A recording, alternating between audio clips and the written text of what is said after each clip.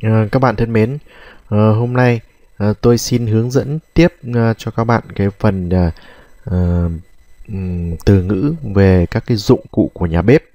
À, đối với các bạn à, đi làm à, việc à, giúp việc à, Đài Loan thì à, những cái từ như thế này cũng rất là hữu ích. À, mong các bạn à, hãy cố gắng học để à, chúng ta thuận tiện trong à, công việc cũng như là trong giao tiếp với lại gia đình nhà chủ hoặc là đối với các bạn à, đi mua bán thì chúng ta cũng có thể dùng các cái từ ngữ trong này. Tiếp tục à, chúng ta có những cái từ như sau. Đó là từ liếu lì thái có nghĩa là bàn bếp. Ví dụ cha liếu lì thái có nghĩa là lau bàn bếp. Cha liếu lỉ thái can chinh có nghĩa là lau sạch bàn bếp. Từ tiếp theo là từ quả sư lú có nghĩa là bếp ga. À, ví dụ uh, lau sạch bếp ga thì là cha quả sư lú can chinh có nghĩa là lau bếp ga sạch đấy hoặc là lau sạch bếp ga thì chúng ta có cái mẫu câu như thế tiếp tục chúng ta có từ bình ga là quả sư thủng thủng là bình, là cái thùng. Quả sư có nghĩa là ga. Ví dụ chúng ta nói là hết ga rồi thì nói là quả sư mấy hiểu lợ hoặc là gì? Chúng ta nói bình ga hết ga rồi thì là quả sư thủng mấy hiểu. Quả sư lợ à.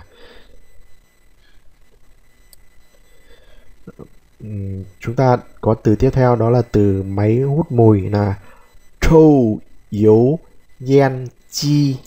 À, ví dụ lau máy hút mùi thì là cha trâu yếu gen chi có nghĩa là lau máy hút mùi.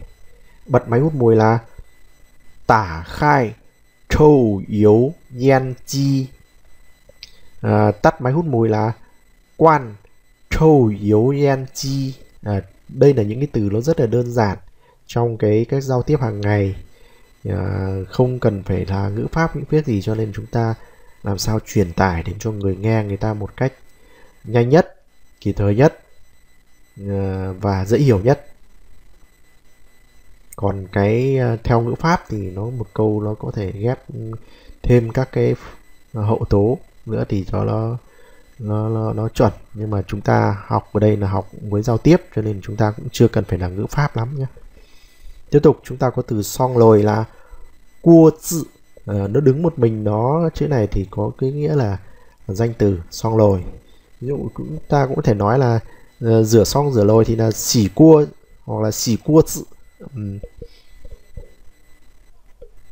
tiếp tục chúng ta có từ chảo. Chai cua có nghĩa là chảo xào hoặc là chảo xào xào thức ăn đấy xào rau đấy. Để chúng ta đọc lại một lần nữa nào. Liếu. Lì thái. Liu lì thái. Quả sư lú. Quả sư lú. Chữ sư ở đây chúng ta không cần phải đọc cong lưỡi nhé bởi vì nó nó giống như chữ x của mình ấy. Thì đọc nhẹ. Tiếp tục, chúng ta có từ quả sư thủng. Quả sư thủng. Chữ trâu ở đây chúng ta hơi bật hơi một chút cong lưỡi lên và bật hơi. Trâu yếu yan chi. Trâu yếu yan chi. Cua zi cua zi chảo cai cua.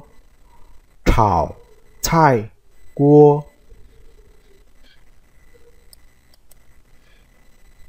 Tiếp tục chúng ta có những cụm từ tiếp theo là bình đóng lạnh là dưa xoài bình ví dụ bật bình đóng lạnh là tả khai dưa xoài bình tiếp tục chúng ta có từ hung quản chi có nghĩa là máy sấy bát. Hung có nghĩa là sấy đấy. À, hung chi là máy sấy hung quản chi là máy sấy bát. Ví dụ Ờ, cho vào máy xấy bát thì chúng ta là phang chin hung quản chi. À, cho bát vào máy xấy bát là bả oản phang chin hung oản chi. Tiếp tục chúng ta có từ quấy bô lú có nghĩa là lò vi sóng. Ví dụ cho vào lò vi sóng là phang chin quấy bô lú à, hoặc là bật lò vi sóng là tả khai quấy bô lú tiếp tục chúng ta có từ lồi điện tử là đèn tử cua đèn tử ở đây có nghĩa là điện tử cua ở đây có nghĩa là nồi. Chúng ta ghép vào là nồi điện tử. Tiếp tục chúng ta có từ lồi điện. Nồi này là nồi bình thường cơ. Đọc là ten cua ten cua ví dụ, nồi cơm điện thì chúng ta thêm chữ phan ở giữa này. Đọc là ten phan cua ten phan cua. Tiếp tục chúng ta có từ lò lướng, bếp lướng thì chúng ta có từ khảo xiang. Khảo xiang, ví dụ cho vào lò lướng là phang chin khảo xiang. Bật lò lướng là tả khai khảo xiang. Chúng ta đọc lại một lần nữa các cái từ này nhé. Dưa 水平 máy xay bát là hung hoàn chi. Hung hoàn chi. Lò vi sóng là quấy bô lú. Quấy bô lú. Nồi điện là đen tử cua. Đen tử cua tiếp tục chúng ta có tội nồi điện. Ten, cua. Ten, cua. Lò nướng là khảo xiang. Khảo xiang. Tiếp tục chúng ta có những cụm từ sau. Máy xay sinh tố là của zhi chi. Của chư ở đây có nghĩa là nước hoa quả. Chi ở đây có nghĩa là cái máy thì chúng ta ghép lại nó là máy xay sinh tố hoặc là máy hoa máy uh, máy sinh tố máy xay sinh tố. Chúng ta đọc lại nào. Của chữ chi. Chữ chữ ở đây chúng ta đọc hơi cong lưỡi bởi vì nó có chữ ZH này có nghĩa là trở nặng như chữ trở nặng của mình ấy. Tiếp tục chúng ta có từ chai tao có nghĩa là dao thái rau. Tao có nghĩa là rau. À xin lỗi là dao chai có nghĩa là thức ăn hoặc là rau.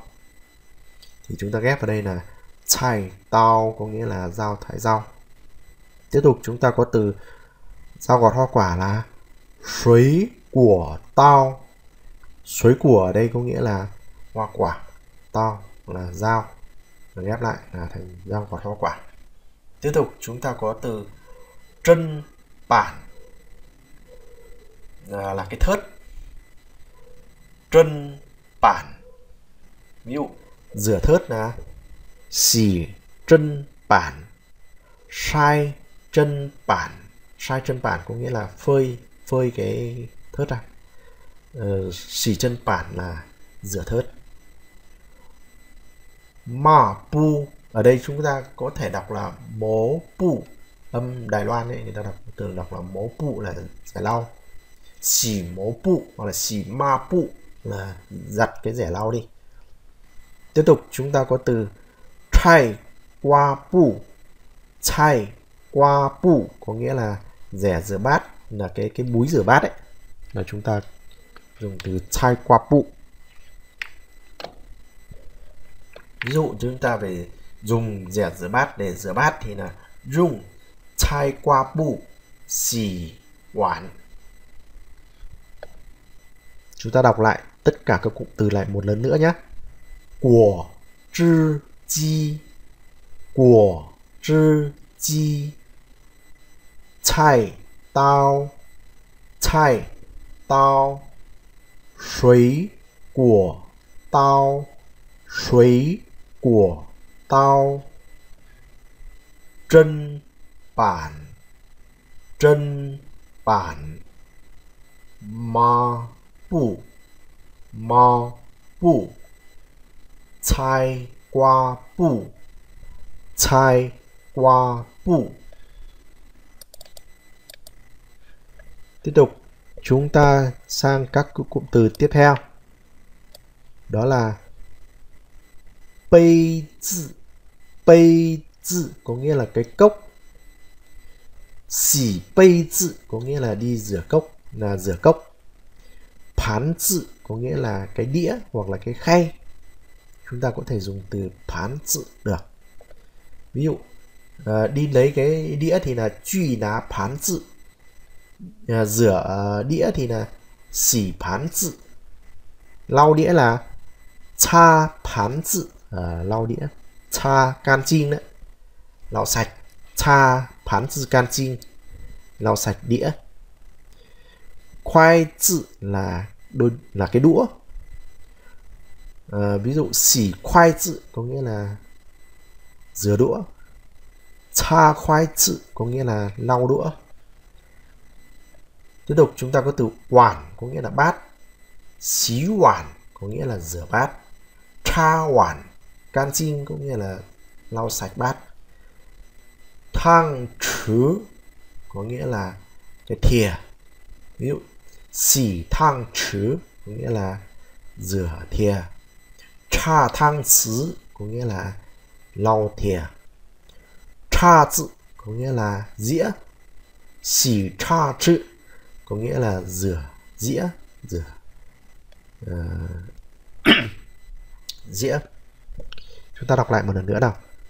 Bây chữ bây zi phán phán khoai zi khoai zi quản quản thang chứa thang chứa cha zi cha zi tiếp tục chúng ta có từ uh, vòi nước có nghĩa là sủy lúng thấu。ví dụ bật vòi nước mở vòi nước nghĩa là tả khai sủy lúng thấu. À, tiếp tục chúng ta có từ bồn rửa là sủy cháo là bồn rửa. Chữ cháo ở đây có nghĩa là cái máng. Cái máng hoặc là cái bồn hay là cái uh, labo thì chúng ta cũng đều dùng từ cháo. Ví dụ như là máng ờ, ngựa này mã tháo. Máng lợn uh, Trụ cháo chúng ta tiếp tục chúng ta có từ máy lọc nước là lùi sủy chi. Lùi sủy ở đây có nghĩa là lọc nước lùi có nghĩa là lọc. Tiếp tục chúng ta có từ sản tự có nghĩa là cái cái sản cái cái xẻng để xào rau ấy, để xào lẩu ấy, là cái là sản tự tiếp tục chúng ta có từ sa la yếu có nghĩa là dầu ăn. Dầu này có thể là uh, dùng trong trộn người ta cũng thể dùng từ sa la yếu tiếp tục chẳng yếu có nghĩa là xì dầu. Thường ấy người Đài Loan người ta hoặc người Trung Quốc ấy, người ta rất thích ăn xì dầu chứ người ta không thích ăn uh, nước mắm uh, dúy dúy lụ như mình. Cho nên là các bạn uh, nấu ăn là chúng ta cũng nên chú ý. Chúng ta không nấu bằng nước mắm. Ở Đài Loan thì người ta cũng bán nước mắm nhưng mà chỉ bán cho những người Đông Nam Á hoặc là những người Việt Nam chúng ta thôi.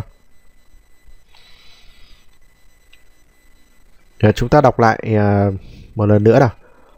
Sủy lúng thấu, có nghĩa là vòi nước. Sủy cháo. Sủy cháo. Lùi sủy chi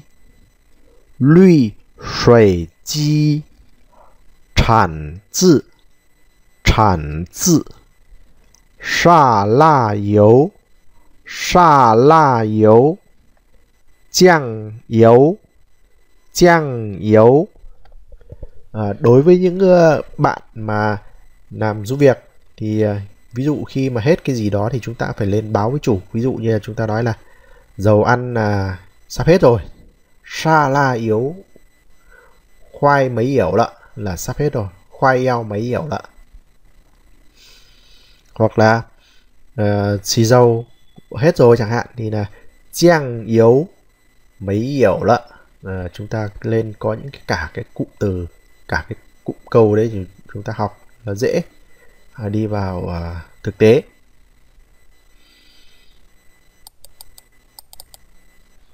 Tiếp tục chúng ta có cụm từ tiếp theo đó là yến là muối. Yến pa cũng nghĩa là muối. À, sứ yến có nghĩa là muối ăn.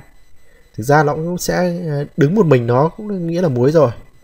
Nhưng mà có thể ghép một vài các cái đuôi hoặc là cái tiền tố nữa vào để cho nó có nghĩa rộng hơn. Tiếp tục chúng ta có từ uy chiên có nghĩa là mì chính. Thường thì người Đài Loan này hoặc Trung Quốc người ta không ăn mì chính rất ít. Tuy rằng người ta cũng có bán nhưng mà ít khi người ta sử dụng.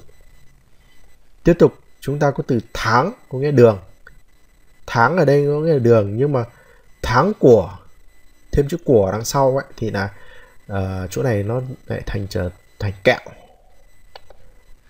Tiếp tục chu có nghĩa là giấm chu. Chúng ta uh, âm đầu lưỡi nhé chúng ta bật hơi.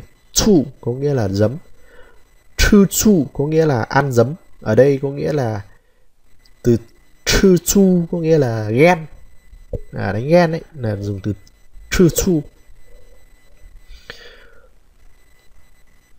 Thai bái phần có nghĩa là bột năng à, cái bột này là ví dụ như ta hòa ra để chúng ta uh, xào nấu hoặc là cho, cho thêm vào các cái món ăn cho nó hấp dẫn nó sệt sệt ấy. Ví dụ như là chúng ta kho thịt hay làm gì đấy chẳng hạn chúng ta cũng cho thêm vào để cho nó sền sệt. Nhưng mà thường ấy thì người ờ, ở các cái nhà hàng khách sạn người ta hay làm hoặc là người Đài Loan người ta hay làm chứ người Việt mình cũng rất ít khi ăn cái bột năng này. Tiếp tục chúng ta có từ mỉ, ở đây có nghĩa là gạo ví dụ gạo tẻ thì chúng ta có thể nói là ta mì là gạo tẻ. Lúa mì có nghĩa là gạo à, lếp Thế tùy từng trường hợp thì chúng ta có thể sử dụng là chúng ta ghép vào. Chúng ta đọc lại à, toàn bộ cái cụm này một chút nhé. Dán dán ví dụ dán pa cũng nghĩa là muối ăn. À, sứ dán cũng nghĩa là cũng là muối ăn nhưng mà từ dán này có nghĩa là nói chung. Uy chinh Uy chinh tháng tháng chu chu thai bái phần thai bái phần mỹ mỹ. À, tiếp tục chúng ta có các cụm từ tiếp theo. À, phản là cơm. Thư phan có nghĩa là ăn cơm. À, cơm hết rồi thì nói là phan mấy hiểu lợ mấy hiểu phan có nghĩa là không có cơm. Xoan thấu có nghĩa là tỏi. Thường ấy thì người uh, Trung Quốc hoặc người Đài Loan ấy người ta rất thích ăn tỏi. Uh, trong uh, uh, đồ ăn đồ xào là người ta hay cho tỏi tiếp tục. Chiang. Chiang là gừng. Chư chiang có nghĩa là ăn gừng. Mấy ổ chư chiang có nghĩa là không ăn gừng? Xiang yếu có nghĩa là dầu mè. Cái dầu này nó sệt sệt đấy người ta gọi là dầu dầu dầu mè dầu uh, à, xiang yếu. Chung có nghĩa là hành. Chúng ta ở đây chúng ta bật hơi.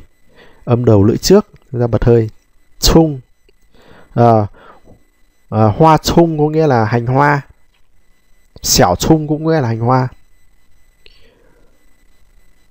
à, Giáng chung thì có nghĩa là hành tây. La chao là ớt.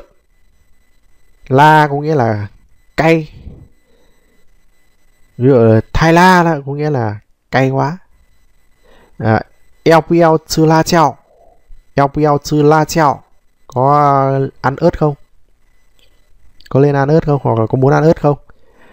Hú chào có nghĩa là hồ tiêu hú treo có nghĩa là hồ tiêu ví dụ eo bù eo phang hú treo có lên cho hồ tiêu không à, mấy hiểu chư hú treo không ăn hồ tiêu à, chúng ta đọc lại một lần nữa nào phan phan xoan thấu xoan thấu giang giang xiang yếu xiang yếu葱葱辣椒辣椒胡椒胡椒à, các bạn thân mến à, bài học à, của chúng ta hôm nay đến đây là hết về cái phần dụng cụ nhà bếp các bạn hãy đăng ký ở bên dưới bên tay à, phải hoặc là like.